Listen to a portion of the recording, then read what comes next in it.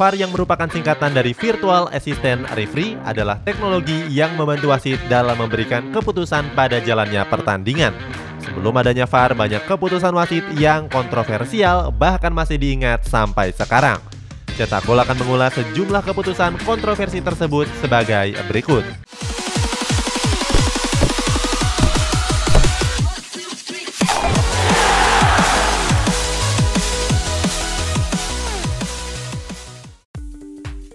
Gol tangan Tuhan Diego Maradona Legenda sepak bola Diego Maradona pernah membuat kontroversi pada gelaran Piala Dunia 1986 yang lalu.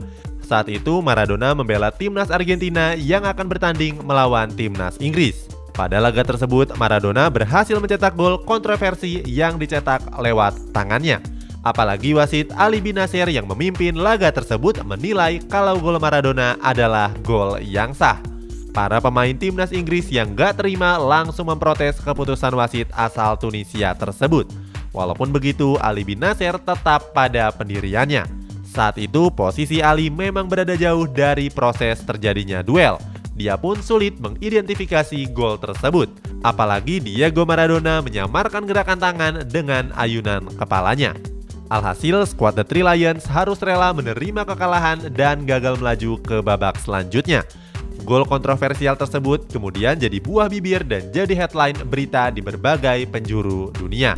Secara nggak langsung, gol tersebut juga jadi gol yang paling ikonik dalam sejarah Piala Dunia. Seandainya Ali berada lebih dekat dengan proses gol tersebut, besar kemungkinan gol tangan Tuhan Maradona nggak pernah tercipta. Gol Frank Lampard yang tidak dianggap lagi-lagi Inggris jadi korban keputusan wasit yang kurang tepat. Kali ini terjadi pada ajang Piala Dunia 2010 pada laga melawan timnas Jerman. Saat itu laga berlangsung sengit di mana kedua tim saling jual beli serangan. Pada menit ke-39, Frank Lampard melepaskan tembakan keras yang gagal diantisipasi oleh Manuel Neuer. Bola tersebut menghantam bagian bawah mistar masuk sekitar 90 cm di garis gawang dan memantul keluar. Tapi wasit Jorge Larionda yang memimpin pertandingan tersebut menganggap gol Lampard jadi nggak sah. Menurut Jorge, bola belum melewati garis gawang.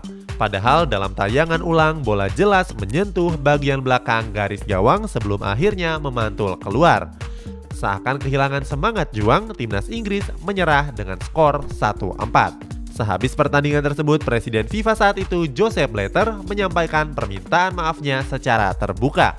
Sepp Blatter juga membuka rencana menerapkan teknologi untuk meminimalisir kejadian serupa untuk tidak terulang kembali. Lalu disempurnakan dengan teknologi VAR yang mulai diterapkan di Piala Dunia 2018.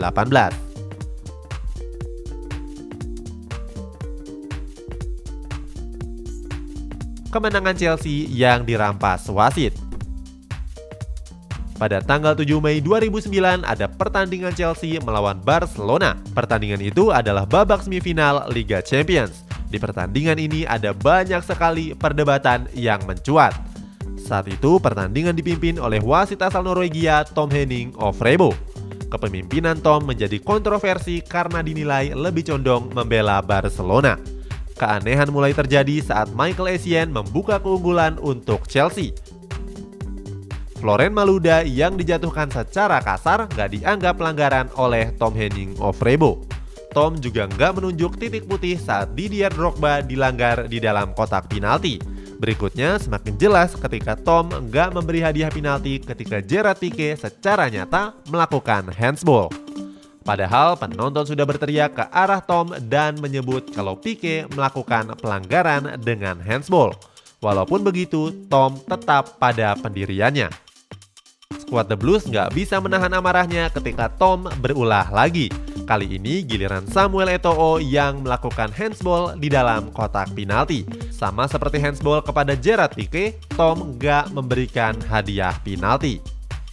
Pada akhirnya Chelsea gagal melaju ke laga final karena keputusan Tom yang kontroversi. Setelah laga berakhir, Jose Bosingwa, Didier Drogba, dan Michael Ballack juga marah dan memaki-maki Tom Henning of Rebo. Kemenangan Chile yang dibantu wasit. Chile diuntungkan dari keputusan kontroversial wasit saat mereka menghadapi Peru di semifinal Copa America 2015 yang lalu. Kontroversi tersebut berawal dari terusirnya pemain bertahan Peru, Carlos Zambrano. Zambrano diusir dari lapangan oleh wasit Jose Argote setelah menerima kartu kuning yang kedua. Zambrano dianggap mengasari Carles Aragonis pada menit ke-20 babak pertama. Para pemain Peru memprotes keputusan Jose karena dianggap berusaha menyapu bola dengan bersih. Sementara Aragunis sengaja menabrakan dan menjatuhkan dirinya.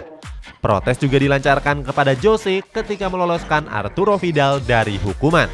Saat itu Vidal terlihat menampar Zambrano di sudut lapangan.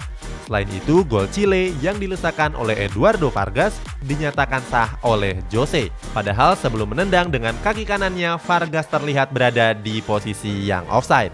Alhasil, Chile berhasil unggul dengan skor 1-0 dan lolos ke final Copa America 2015.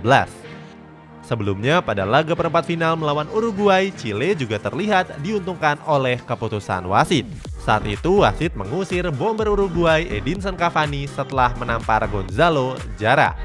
Padahal dalam tayangan ulang Jara berulah lebih dulu dengan menyerang bokong Cavani. Sepakan pojok Marseille dari wasit Meleng.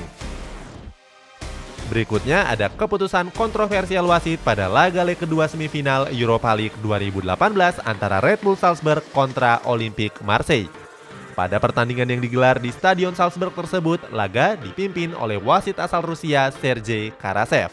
Karsev memberikan keputusan kontroversial pada gol sepak pojok Marseille yang dilesakan oleh Rolando.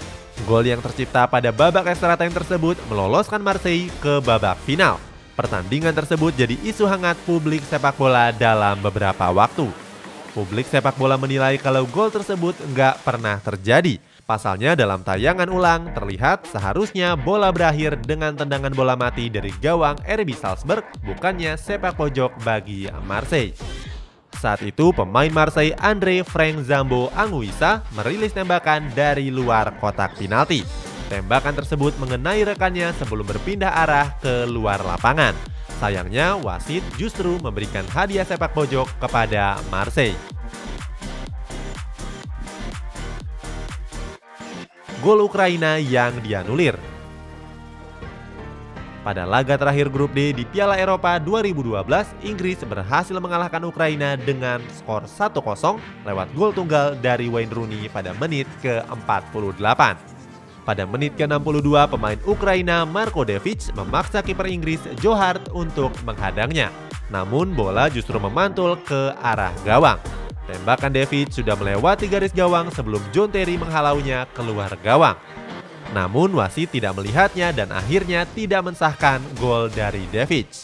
Tayangan ulang televisi menunjukkan kalau bola sudah melewati garis gawang. Tetapi asisten wasit di samping gawang memberikan isyarat tangan agar permainan tetap diteruskan. Pada akhirnya Inggris unggul dengan skor 1-0. Kekalahan tersebut jadi perbincangan hangat publik sepak bola. Mereka menganggap pertandingan tersebut seharusnya berakhir dengan skor satu sama. Itulah sejumlah pertandingan kontroversi sebelum adanya VAR. Apakah kamu pernah merasa dirugikan karena tim favoritmu menjadi korbannya? Coba tuliskan di kolom komentar di bawah.